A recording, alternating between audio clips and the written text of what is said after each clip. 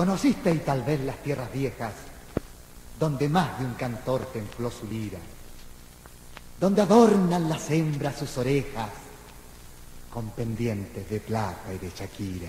Este 24 de octubre de este año 2014, Angol está cumpliendo 461 años de vida. Recordemos que Angol fue fundado siete veces. El primer año fue el año 1553 por parte de Pedro de Valdivia y su última fundación fue el año 1862 por parte de Cornelio Saavedra. En este aniversario se, realizó, se realizarán diferentes eh, actividades, entre ellas un desfile cívico-militar. Vamos a preguntarles a las autoridades quién fue el primer fundador y el último fundador de la comuna de Angol los invito a revisar la siguiente nota donde usted también va a conocer la cultura que tienen nuestras autoridades locales, regionales y nacionales.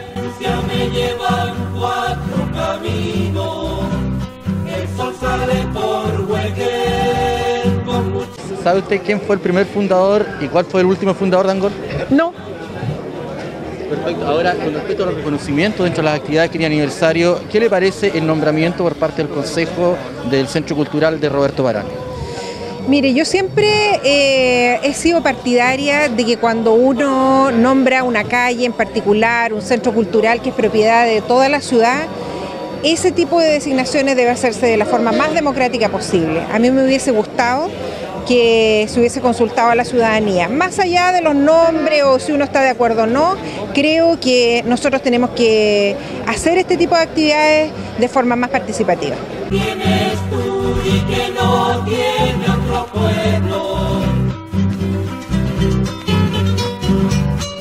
Enrique, ¿se acuerda quién fue el primer fundador de Angol y cuál fue el último fundador? Bueno, estamos frente a don Cornelio, ¿ya?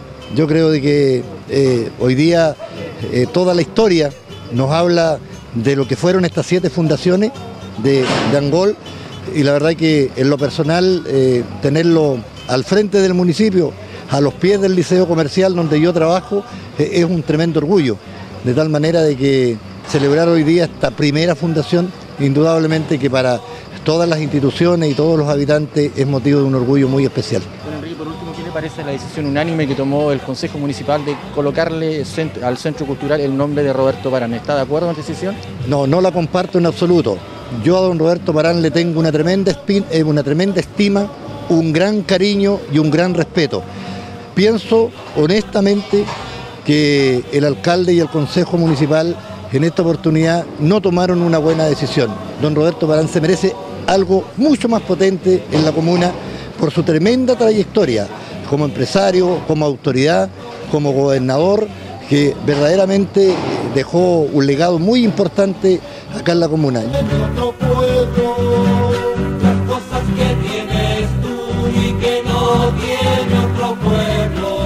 Senador, eh, ¿usted sabe cuándo fue la primera fundación de Angol y la última fundación? Eh, bueno, han habido, entiendo, seis, eh, siete destrucciones y seis fundaciones y, los años específicos no los conozco. ¿Pero quién, lo fundó por primera vez y última vez? Pero yo aquí estoy dando entrevista como representante de la zona, no estoy dando examen. La primera fundación fue el 24 de octubre del año 1553, ¿ya? Y la última fue 1978. ¿Qué le parece ahora la decisión que tomó el Consejo Municipal eh, unánimamente eh, por colocar eh, Roberto Barán al Centro Cultural? Lo que pasa es que yo aquí, quiero decirlo con toda sinceridad, no voy a ser para nada objetivo. Y la razón es que yo quiero, admiro y respeto profundamente a don Roberto Parán, que debo decirlo, es mi mentor político. Él es el hombre que me ha abierto oportunidades, él es el hombre que me incorporó a la democracia cristiana, es el, hombre con el que yo he mirado como un ejemplo digno de imitar. Cuando fui nombrado gobernador tuve como referencia a don Roberto Parán. Y en mi vida política he tratado, ¿no es cierto?, de honrar, honrar ese ejemplo, el ejemplo de don Roberto Parán que yo admiro profundamente. las cosas que yo te he visto, las calles que yo te quiero las flores que te hacen lindo, las cosas ¿cuándo fue la primera fundación y la última fundación de acá de la comuna de Angol?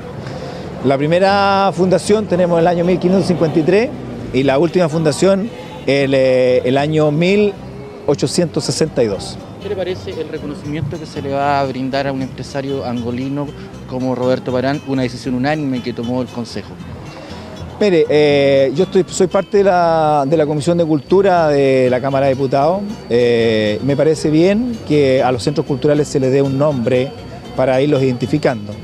Eh, pero así como yo me he opuesto que al aeropuerto Comodoro Arturo Merino Benítez se le coloque un nombre de alguien que está ligado a la cultura, también creo yo que los centros culturales deberían tener un nombre de alguien que está ligado al tema de la cultura, sin dejar de lado todo el trabajo, todo el esfuerzo que entregó en, aquel momento eh, señor Parán a nuestra ciudad de Angol.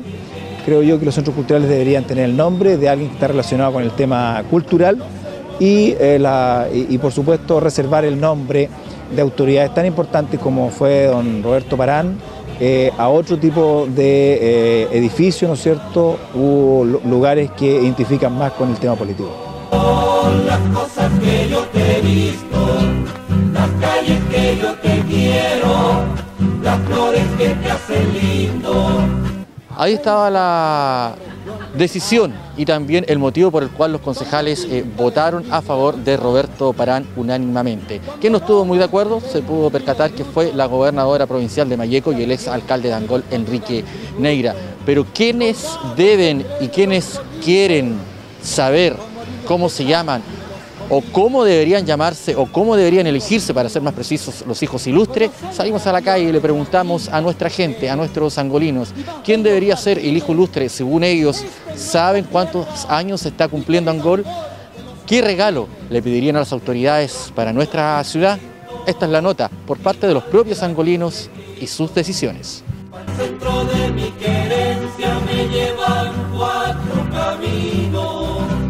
¿Sabe cuántos años está cumpliendo Angol dentro de los cuatro años que usted no, de, no sé la verdad las cosas. ¿Ya? ¿Cuál, sería el regalo usted? El regalo de ahora, en este momento. Que le pediría a la autoridad, esto deberían regalarle a la ciudad. Eh, arreglar un poco más a la gente que está en los cerros acá. Las pavimentaciones. En este cumpleaños, ¿qué regalo le pediría a las autoridades que deberían hacerle a esta ciudad? Bien, esa es una pregunta muy especial, sobre todo para la ciudad que está a Angol, que ha progresado tanto en habitantes como en parque automotriz, pero sin embargo lo que falta es lo principal, lo laboral. Pues se sabe que somos una de las, dentro de la provincia, de las comunas más pobres del país, pues estamos en la Araucanía. Y ver lo principal y más angustioso que es ese problema que, tiene, que existe con la etnia mapuche, que está creando problemas de trascendencia muy importante a nivel nacional, ya que está destruyendo el progreso de la región.